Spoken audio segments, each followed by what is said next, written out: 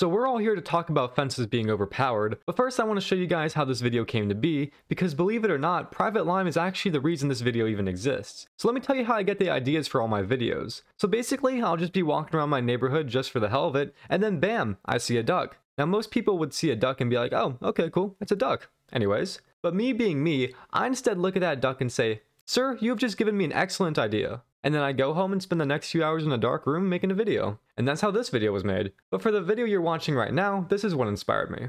Yep, I saw this and I was like, man, fences are actually pretty useful in this game. Hmm, maybe I should make a video about it. And here we are, so thanks Private Lime, you're the best. Okay, but now onto the actual video. Why are fences overpowered? Well, first of all, let's look at the three different types of fences. There are short fences, tall solid fences, and tall chain link fences. The short fences and tall chain link ones are pretty cool, but the tall solid fences are not. They are the opposite of cool. These fences are probably the most dangerous thing in the game because I cannot tell you how many times I've hopped over one of these trying to get away from some zombies, and then bam, the entire undead population of Kentucky is just chilling on the other side of the fence waiting to eat my ass. So these fences suck, but these two are pretty cool. So let's start with the chain link fences, which are very cool because unlike these fences, you can actually see what's on the other side before you hop over. But not only that, you can also stab zombies through the fence if you have a spear or bladed weapon.